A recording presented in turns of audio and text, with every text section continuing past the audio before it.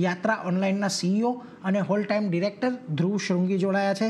Dhruv sir very very good afternoon और स्वागत आपका सी एन बी से बाज़ार में सर सबसे पहले बस यही जानना चाहेंगे बहुत अच्छा क्वार्टर रहा है खास करके ये जो क्यू थ्री का टाइम है वो क्यू थ्री का टाइम फेस्टिव सीज़न का थोड़ा वैकेशन मूड का वो सब का भी टाइम रहता है ओवरऑल कहाँ से आपको अच्छी ग्रोथ आती हुई दिखी सबसे पहले बस यही जानना चाहेंगे जी, नमस्ते और बहुत बहुत धन्यवाद मुझे अपने शो पे लाने के लिए। आपने जैसे बताया, हमारे लिए काफ़ी अच्छा क्वार्टर रहा।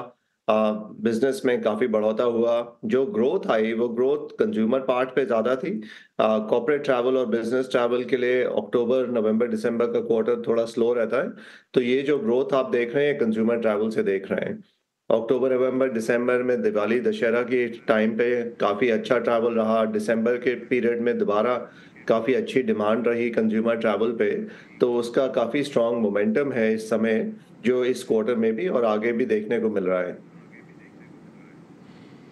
सर आपने जो कंज्यूमर ट्रैवल की बात की बस एक एक चीज़ यही जानना चाहूँगा कि, कि यहाँ पर आपको ट्रेंड अभी क्यू थ्री में इवन क्यू फोर में और ऑनवर्ड्स कौन से ज़्यादा देखने को मिल रहे हैं? डोमेस्टिक ट्रैवल यहाँ पर ज़्यादा हो रहा है इंटरनेशनल ट्रैवल की ओर ज़्यादा झुकाव हो रहा है। किस तरीके का ट्रेंड अभी हमें देखने को मिल रहा है? देखिए डोमेस्टिक ट्रैवल के लिए एक ये बहुत ही बढ़िया टाइम है। डोमेस्टिक ट्रैवल की डिमांड बहुत स्ट्रांग है और ये डिमांड का मोमेंटम जो है वो जारी रह रहा है।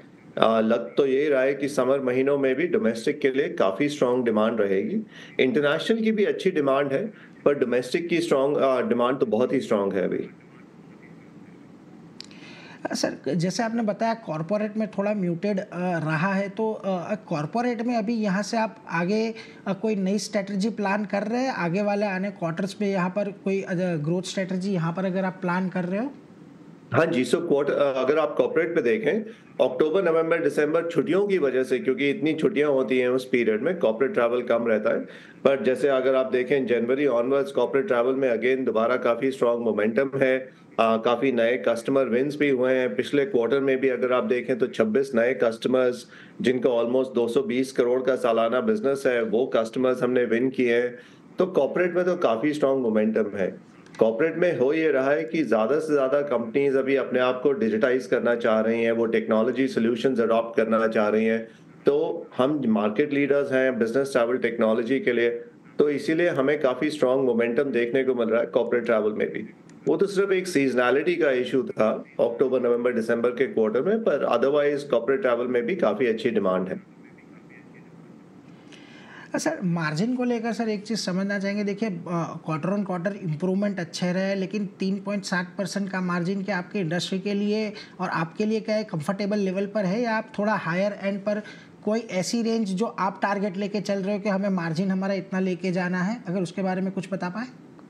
सो so, मार्जिन आप जैसे देखेंगे स्केल बढ़ते जाएगा तो मार्जिन अपने आप इंप्रूव होती जाएगी। अगर मैं ऑपरेटिंग मार्जिन की तरफ़ बात करूँ जो एडजस्टेड एबिटा हम रिपोर्ट करते हैं आज की डेट में एडजस्टेड एबिटा मार्जिन करीबन 10 परसेंट के करीब है। और हमारा इंडेवर तीन साल के अंदर यह है कि ये 10 नंबर 10 परसेंट का नंबर 20 के पास होना चाहिए। तो मार्जिन में आप कंटिन्यूसली इंप्रूवमेंट देखेंगे क्योंकि ये एक टेक्नोलॉजी बिज़नेस है। सो जैसे जैसे स्केल बढ़ता जाता है उसकी ऑपरेटिंग लेवरेज काफ़ी हाई रहती है। जी। सर, एक डेट के ऊपर आपने अपडेट दिया है कि क्यू थ्री में आपका 51 परसेंट डेट अभी यहाँ से रिड्यूस हुआ है। आगे चलकर अभी क्या डेट पे हम किस लेवल पे है और क्या स्ट्रेटजी रहेगी आपको ये फर्दर रिडक्शन के लिए? जी, हमारा इन्वेवर तो ये रहेगा कि डेट को और करीबन 50 परसेंट के करीब रिड्यूस करें। अगले एक क्वार्टर से दो क्वार्टर के अंदर ताकि डेट का जो नेट लेवल हमारा रह जाएगा, वो 40 से 50 करोड़ की रेंज में डेट का नेट लेवल रह जाएगा। वो एक मिनिमम लेवल है जो हम मेंटेन करेंगे, पर डेट को उस लेवल तक हम नीचे ले जाएँगे। जी। आ, सर एक और चीज़ ये भी जानना चाहूँगा कि जैसे देख अभी आपने शुरुआत में ही बताया कि जो डोमेस्टिक ट्रैवल का पूरा सेक्टर है वो यहाँ से अच्छा ग्रो करते हुए दिख रहा है। तो ये सेगमेंट में मार्केट शेयर बढ़ाने के लिए आप कोई नए प्रोडक्ट लेके आ रहे हैं कोई नई सर्विसेज़ आप अगर लॉन्च करने वाले हो अगर उसका कोई अपडेट हमें दे पाए? जी बिल्कुल। सो अगर आप जैसे देखें नई नई डेस्टिनेशंस हैं रिलीजियस ट्रैवल एक काफ़ी स्ट्रॉन्ग थीम इमर्ज हो रही है। रिलीजियस ट्रैवल हमेशा से हिंदुस्तान में स्ट्रांग रहा है पिलग्रमेज ट्रैवल पर वो ऑर्गेनाइज सेक्टर में कम था। ज़्यादा से ज़्यादा वो अनऑर्गेनाइज सेक्टर में हुआ करता था। पर अगर पिछले मैं कुछ महीनों का ट्रेंड देखूँ तो रिलीजियस डेस्टिनेशंस की डिमांड भी ऑर्गेनाइज सेक्टर में बढ़ती जा रही है। वहाँ पे इंफ्रास्ट्रक्चर भी काफ़ी इम्प्रूव हुआ है, चाहे आप वैष्णो देवी की बात करें, चाहे आप तिरुपति की बात करें, चाहे आप अयोध्या में अभी देख, जो देख रहे हैं हम सब, वाराणसी, इन सब जगहों में इंफ्रास्ट्रक्चर इम्प्रूव होने की वजह से जो ट्रैवलर है, वो एक ज़्यादा इवॉल्व ट्रैवलर भी इन चीज़ों को, इन डेस्टिनेशंस पे जा रहे हैं। तो उसकी वजह से हमें देखने को मिल रहा है कि ज़्यादा स्ट्रॉन्ग डिमांड आ रही है और उसके बेसिस पे हम नए प्रोडक्ट्स क्रिएट कर रहे हैं, नए पैकेजेस क्रिएट कर रहे हैं। इन एरियाज़ में नए अच्छे होटल्स क्यूरेट करके उनको अपने प्लेटफॉर्म पे ला रहे हैं। तो मुझे ये लग रहा है कि आज की डेट में तो कि अगले एक दो साल के लिए एक काफ़ी स्ट्रॉन्ग थीम रहेगी, जिसमें अभी छोटी एक बेस लाइन से काफ़ी ग्रोथ होगी। जी तो ये तो देखिए अच्छी बात है कि यहाँ पर जिस तरीके से ये ट्रैवल बढ़ रहा है, लेकिन सर एक चीज़ यही इसी क्वेश्चन को थोड़ा एक्सटेंड करके ये भी पूछना चाहूँगा कि ये पिलग्रीमेज ट्रैवल के अंदर हमें बहुत ही अच्छा एक उछाल देखने को मिल रहा है पिछले पाँच छः महीने की बात करिए तो। लेकिन उसके अलावा एक ट्रेंड थोड़ा सा जो नेचर ट्रैवल वाला भी एक सेगमेंट है जहाँ पर अच्छा ट्रैक्शन देखने को मिल रहा है क्योंकि अभी लोगों की लाइफ भी बहुत सारी हेक्टिक हो गई है और लोग चाहते हैं कि वीकेंड में थोड़ा चिल करने के लिए नेचर बास्केट के जैसी प्लेसेस पर जाए। तो इस, इसमें कोई आपको बढ़ोतरी अभी दिख रही है? क्योंकि देखिए जो मिडल इंडिया है और वेस्टर्न इंडिया है, वहाँ पर तो ये जो विंटर के महीने रहते हैं वो तो आज घूमने के लिए बहुत ही आइडियल माने जाते हैं ये टाइम पे। जी आपने बिल्कुल सही फरमाया। अगर आप देखें आ, हो क्या रहा है स्पेशली कोविड के बाद से ये कोविड के दौरान और उसके बाद से शुरू हुआ कि लोग ज़्यादा से ज़्यादा एक्टिविटीज़ और एक्सपीरियंस देखने लगे।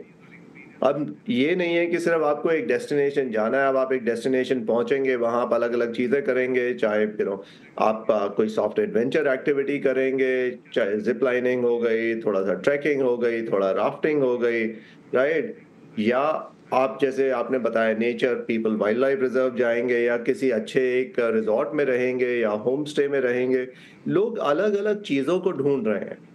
मैं इसको एक तरह से स्पेशली यंगर पॉपुलेशन में कहूँगा कि इंस्टाग्राम मोमेंट हो गया ये, कि आपने वापस आके पोस्ट कर अगर आप पोस्ट कर रहे हैं तो आप कुछ अच्छा और कुछ अलग पोस्ट करना चाहेंगे। आप वही चीज़ पोस्ट नहीं करना चाहेंगे जो सौ और लोगों ने पोस्ट करी है। तो उसकी वजह से adventure travel soft adventure travel खासतौर पे नेचर इन चीज़ों को भी काफ़ी बढ़ोतरा मिला है। और ये पिछले डेढ़ दो साल से थीम चल रही है। जी सर, एक आखिरी सवाल आपसे ये भी पूछना चाहूँगा कि जैसे आपने प्रेजेंटेशन में कहा है कि सेवेंटी परसेंट ऑफ़ जो टिकटिंग हो रही है वो ऑनलाइन हो रही है। इसमें कोई आप बढ़ोतरी देख रहे हैं? इसको ज़्यादा आप बढ़ाने के लिए कोई अगर कदम अभी उठा रहे हो कि जो इस, क्योंकि ऑनलाइन में होता ही है कि आपकी रीच बहुत ज़्यादा बढ़ जाती है। जी, बिल्कुल। अगर आप देखें, जो आज की डेट में सत्तर परसेंट के करीब जो टिकट्स बुक हो रही हैं डोमेस्टिक वो ऑनलाइन हो रही हैं पर हमने ये भी देखा है कि जो टीयर टू मार्केट से नए कस्टमर्स आ रहे हैं पहली बार कैटेगरी में राइट जो नए ट्रैवलर्स आ रहे हैं, वो सब चीज़ें ऑनलाइन ही कर रहे हैं स्पेशली मोबाइल डिवाइसेस पे।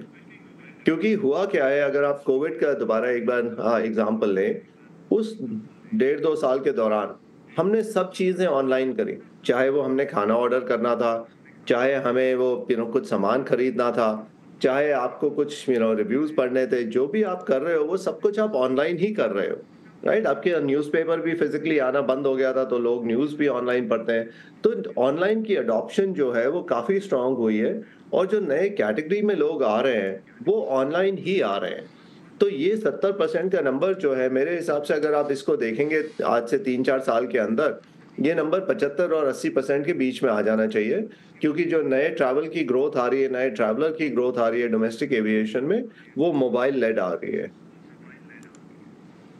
हम्म, तो मोबाइल लेड एक ग्रोथ अच्छी है। आ, बहुत बहुत शुक्रिया सर हमारे साथ जुड़कर ये सारी डिटेल शेयर करने के लिए और आई होप कि अगले क्वार्टर में भी हम ऐसे आ, मिल पाएँगे और आपके रिज़ल्ट के ऊपर और इंडस्ट्री के ऊपर ऐसे ही बात कर पाएँगे। जी बिल्कुल। धन्यवाद।